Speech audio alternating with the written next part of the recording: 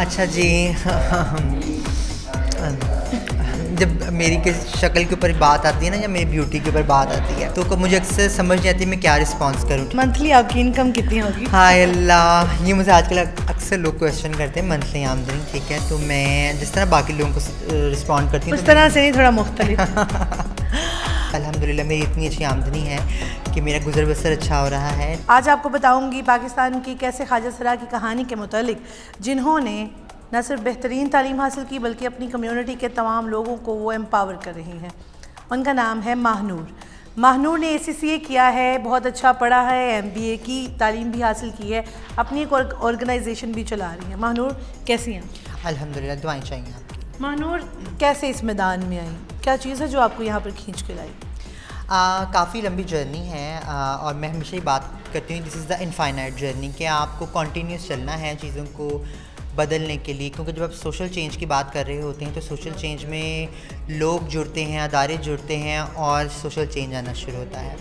मैं अगर अपने बारे में बात करूँ तो आ, मेरी जो जर्नी स्टार्ट हुई है वो मेरी फैमिली की तरफ़ से हुई है still living with my family मेरे जो फादर थे वो बहुत कोऑपरेटिव थे। He has been pass away around ten years ago और जब दस साल पहले डेफिनेटली जब आप जैसे जैसे ग्रो करते हैं तो माशरे में एक विजिबिलिटी आना शुरू हो जाती है कि बच्चा डिफरेंट है। तो ये वो सारी चीज़ें हैं जिसने मेरे अंदर एक फ्लेम दी और मैंने आ, ये डिसाइड किया था कि मैं भी अपनी कम्युनिटी के लिए काम करूँगी और उन लोगों के लिए काम करूँगी और उस उन ख्वाजा सरंग ट्रांसजेंडर कम्युनिटी मेंबर्स के लिए काम करूँगी। जिनको शायद उनकी फैमिली की तरफ़ से वो सपोर्ट सिस्टम नहीं मिल पाता। अच्छा लोगों ने तो महसूस किया आपने क्या महसूस किया जब आपने अपने आप को मुनफरद पाया तो? आ, मैंने तो बहुत अर्ली स्टेज में बहुत कुछ महसूस कर लिया था। मुझे शुरू से ही आइडिया था कि मैं फ़र्क हूँ क्योंकि वो माशरे का मुझे बुली करना स्टिग्मा देना मुझे एक स्टिग्माटाइज करना और एक डिस्क्रिमिनेटरी बिहेवियर देना और इवन कि जब मैं स्कूल में भी पढ़ रही होती थी तो वो बच्चों का एक एक होता है ना आपको एक गुड टच और बैड टच की एक अवेयरनेस होती है। तो वो गुड टच और बैड टच का पता चलता था कि कौन सा लड़का आपको अच्छे तरीके से टच कर रहा है कौन सा नहीं? बचपन में को पढ़ी हैं आप?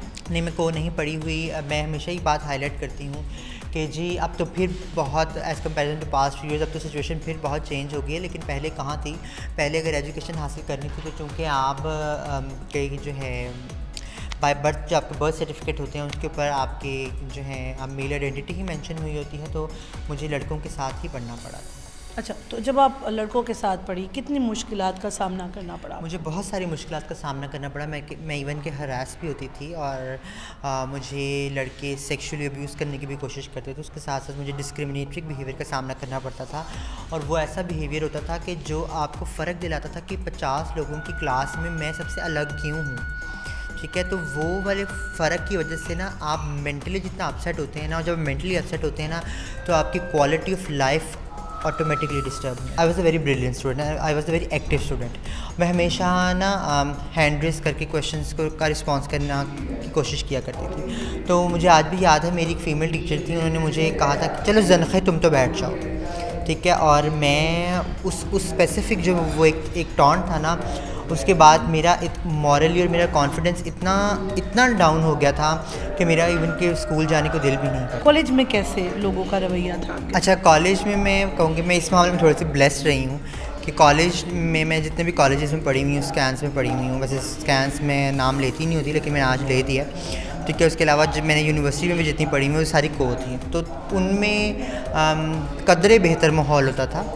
ठीक है क्योंकि वहाँ पे लोग ऑलरेडी मतलब इतने ब्रॉड माइंडेड के होते हैं कि वो उनको पता होता है कि चीज़ों को कैसे डील करना है बट स्टिल डिस्क्रिमिनेटरी बिहेवियर वहाँ पे भी होता था। यूनिवर्सिटी में जाके चीज़ें थोड़ी सी चेंज हुई थी। आपने अपने आप को किस वक्त ये महसूस किया कि आपको ट्रांस वुमन हो जाना चाहिए? वैसे तो आपको बचपन से पता चल जाता है कि आप जी डिफरेंट हैं।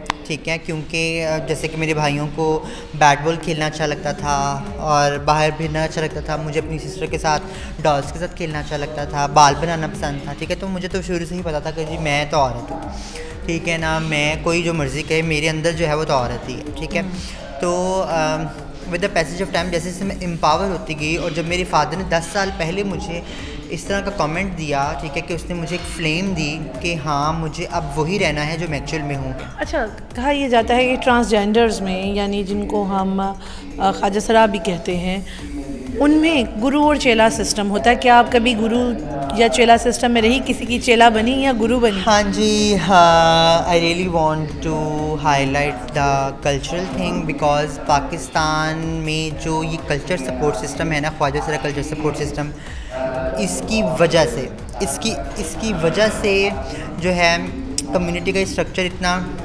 सेफ़ और शेल्टर्ड हुआ है। तो मैं इस कल्चर को ज़रूर हाईलाइट करती हूँ और I am also the part of this culture ठीक है मेरे भी चेले हैं मैं भी किसी की चेला हूँ और मैं गुरु भी हूँ।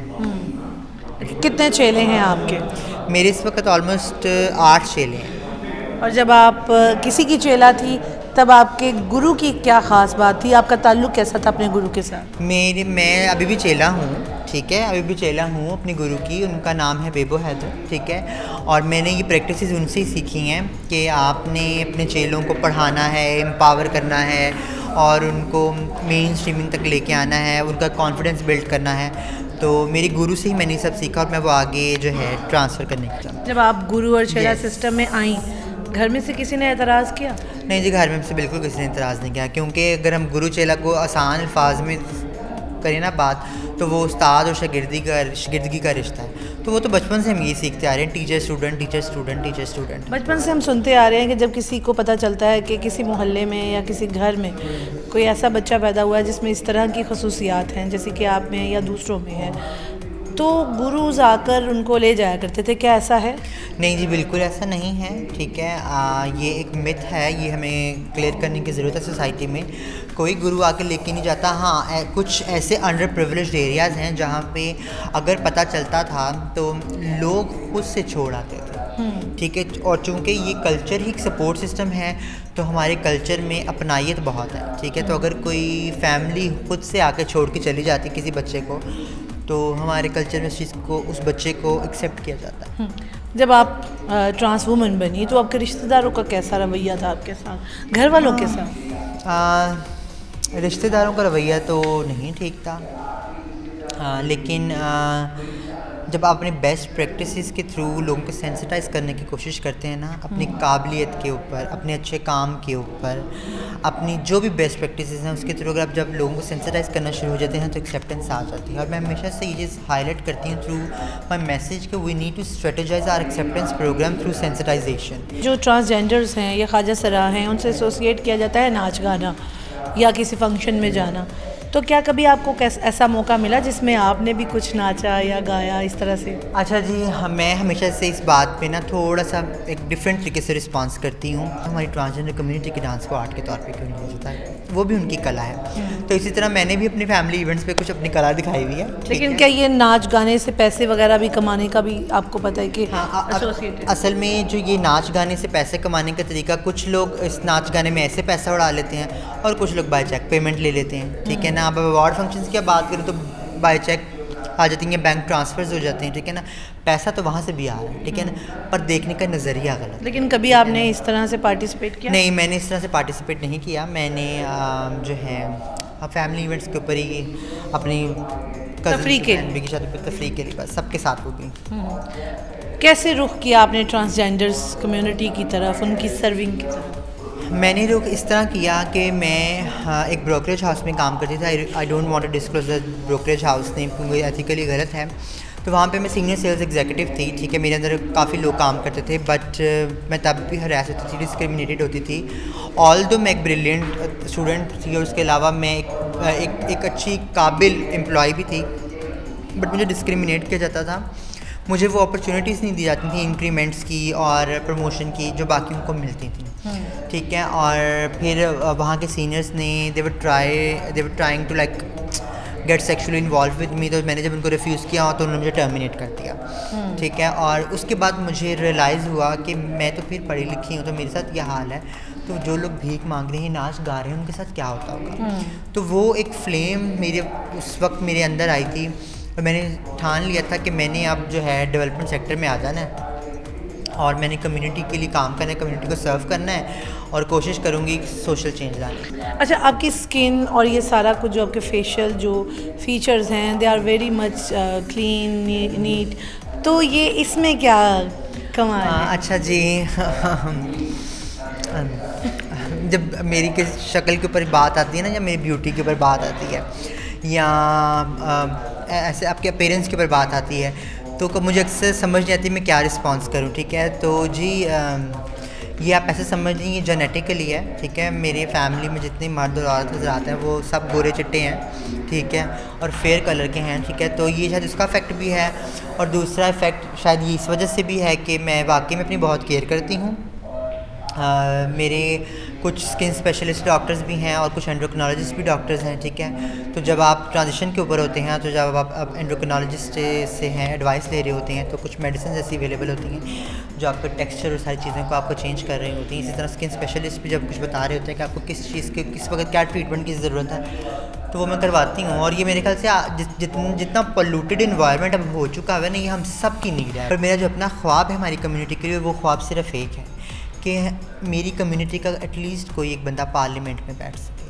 आप खुद भी बैठ सकती हैं? हाँ, क्या ख्वाब है बैठ सकती हूँ मैं बिल्कुल बैठ सकती हूँ। ख्वाब क्या I really want to sit in parliament मैं बैठना चाहती हूँ पार्लियामेंट में। अच्छा एक और बात मुझे बताइएगा कि कुछ ख्वाजा सराओं के बच्चे भी होते हैं वो अपनी फैमिली सिस्टम भी बनाते हैं। हम्म। तो आपका क्या इरादा है? क्या आप बनाना चाहेंगी? राइट ऑफ़ कंपेनियनशिप अगर हो तो मैं ज़रूर शादी करना चाहूँगी ठीक है? और मैं भी एक फैमिली सपोर्ट सिस्टम बनाना चाहूँगी।